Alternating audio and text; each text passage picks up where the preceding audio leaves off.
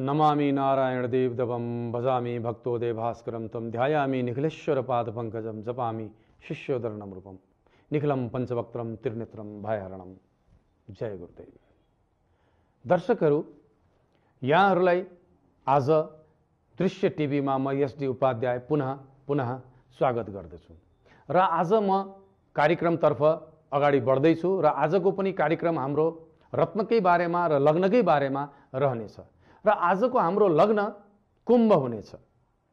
अर्थात् कुम्भ लग्नमा जन्मिने व्यक्तिले के रत्न धारण गर्ने के नगर्ने?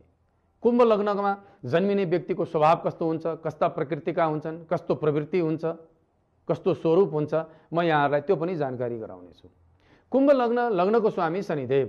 अर्थात् कुम्भ लग्नमा जन्मिने व्यक्ति अत्यन्त प्रभावशाली हुन्छन् अत्यन्त बुद्धिमान हुन्छन् अत्यन्त विवेकशील हुन्छन् चिन्तनशील हुन्छन् गम्भीर अध्ययन गर्ने हुन्छन्। किनभने कुम्भ लग्नमा जन्मिने व्यक्तिको आय र धनेश बृहस्पति हुन्छ समभाव हुन्छ बृहस्पति र शनिको बिचको सम्बन्धमा। तर लग्नको मित्र चाहिँ शुक्र हुन्छ भने साथसाथै बुद्ध पनि हुन्छ। त्यसकारण कुम्भ लग्नमा जन्मिने व्यक्तिको लागि प्रथम रत्न हुन्छ निलम लग्नेश अर्थात् लग्नको रत्न। र अर्को पञ्चम भावको रत्न हुन्छ पञ्चमेश र अर्को नवम भावको रत्न हुन्छ भाग्येश। त्यसकारण चाहिँ नि कुम्भ लग्नमा जन्मिने व्यक्तिको पनि कारक ग्रह शुक्र नै हुन्छ। जसरी मकर लग्नमा शुक्र कारक हुन्छ त्यसरी शनिको यो कुम्भ लग्नमा पनि शुक्र अत्यन्त कारक ग्रह हुन्छ। दोस्रो कोठाको स्वामी बृहस्पति तेस्रो कोठाको स्वामी मेष राशि र चौथो कोठाको स्वामी शुक्र अर्थात् सुखको स्वामी। कुम्भ लग्नमा जन्मिने व्यक्तिको सुखेश अर्थात् गाडी मोटर वाहन जग्गा जमिन भूमि भवन सम्पत्ति मित्रता यी सबै शुक्र हो। र भाग्यको स्वामी तुला राशि त्यो पनि शुक्र हो।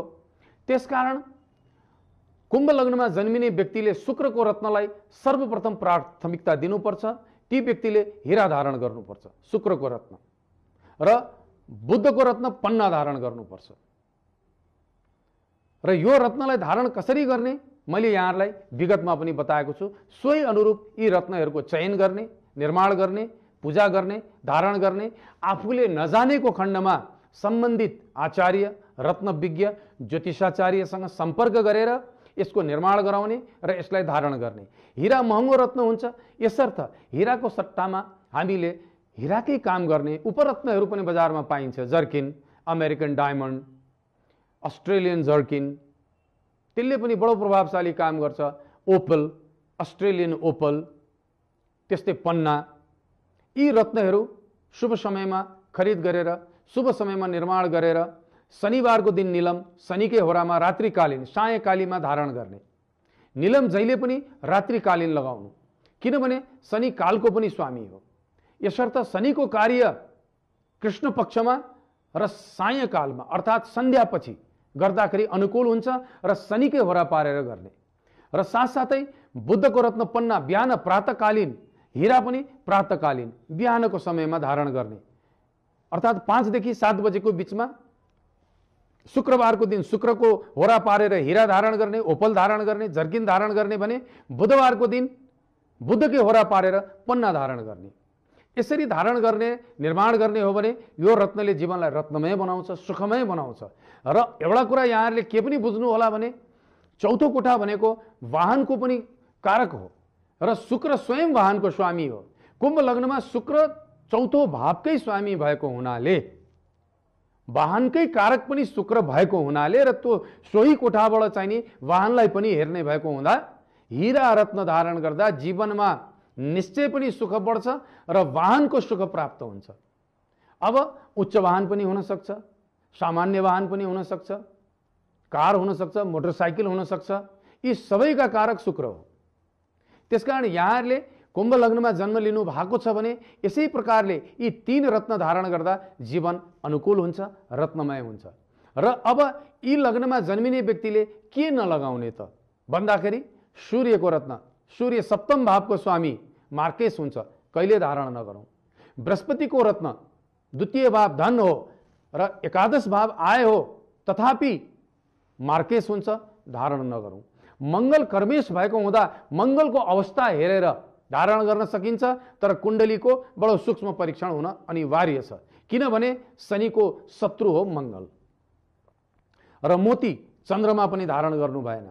अर्थात् कुम्भ लग्नमा जन्मिने व्यक्तिले मकर र कुम्भ लग्नमा जन्मिने व्यक्तिले सूर्यको रत्न मङ्गलको रत्न बृहस्पतिको रत्न चन्द्रमाको रत्न धारण गर्न हुँदैन।